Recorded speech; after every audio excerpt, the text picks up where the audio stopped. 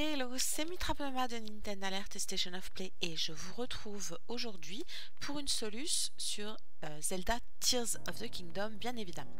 Alors c'est une soluce particulière car si comme moi vous avez joué à Breath of the Wild, voilà, vous connaissez la fameuse euh, armure des sablons qui, euh, sans être indispensable, est quand même bien utile lorsque l'on se rend dans le désert.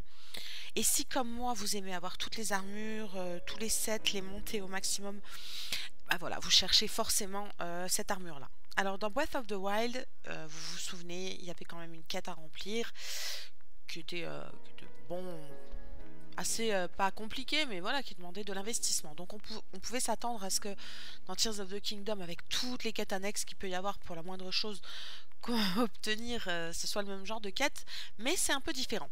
Donc je vais vous montrer. Alors pour avoir le premier le premier objet euh, du, set, il va falloir tout simplement vous rendre ici. Donc, je dézoome au bazar à sec. Hop. Et on va parler à cette charmante Gerudo. Donc, euh, ah, je me disais bien aussi, alors c'est ça qui t'intéresse, donc c'est vrai que c'est un accessoire indispensable dans le désert, surtout pour un jeune voy branché comme toi.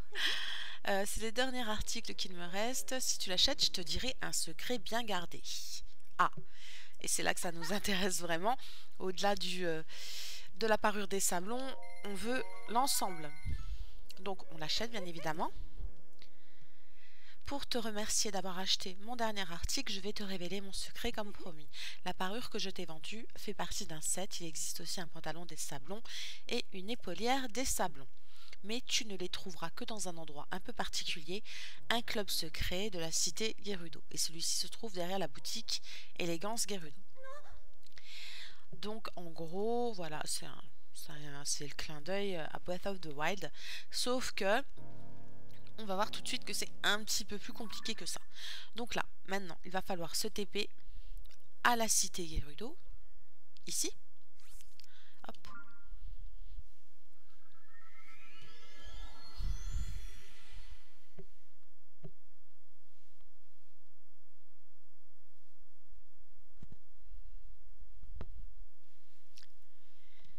Et je vais vous montrer où ça se trouve exactement.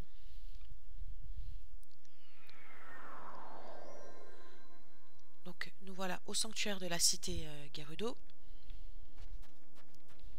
Comme vous le savez, hein, la cité est abandonnée.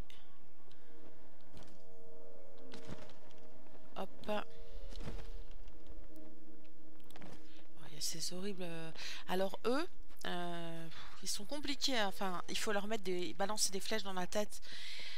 Et on n'a pas beaucoup de flèches, donc euh, c'est embêtant. Mais alors, par contre, ils, rapportent des accessoires ultra intéressants. Ça donne plus 40 à vos armes. Hein, si, vous, euh, si ça vous intéresse. Ah, voilà. Donc, vous sautez là où j'ai sauté.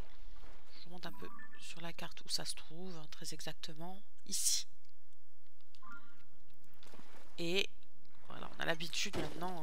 Et vas-y qu'on casse des roches. En veux-tu En voilà.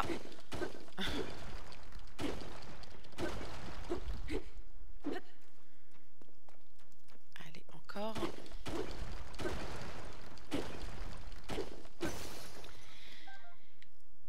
Bien évidemment, mon maillet s'est cassé, c'est pas grave. Une bombe aussi bien à faire. Hein.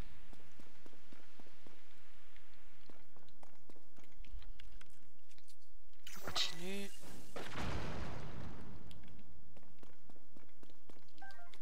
Hop. Et là, on se rend ici.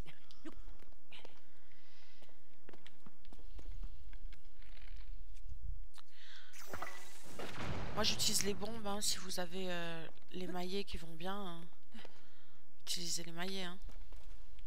je sais pas si je peux passer. Hein. Ouais, tu penses bien que non. Est-ce que je suis pas un petit peu trop près pour lancer la bombe?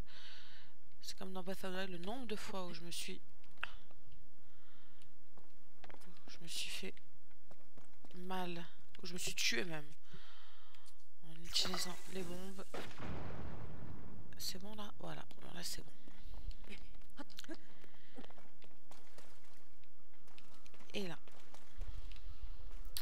On regarde le plafond. Hop, on s'infiltre.